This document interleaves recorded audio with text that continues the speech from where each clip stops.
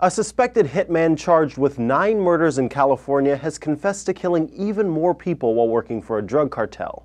KSFN reports this confession comes after several charges were brought against him. 51 year old Jose Manuel Martinez is in an Alabama jail cell facing charges for a murder there, possibly two more in Florida, and now nine murders here in California. KSEE says Martinez was arrested in Arizona while attempting to cross the border from Mexico. It was while he was in custody that that Martinez confessed to 40 murders. Officials say one of Martinez's alleged victims was shot while driving to work. His wife, brother, and brother-in-law were all in the vehicle. The Tulare County Sheriff's Department, where Martinez is charged with nine murders, held a press conference detailing the investigation and his crimes. Martinez also faces several special circumstance allegations, including multiple murders, lying in wait, kidnapping, and murder for financial gain.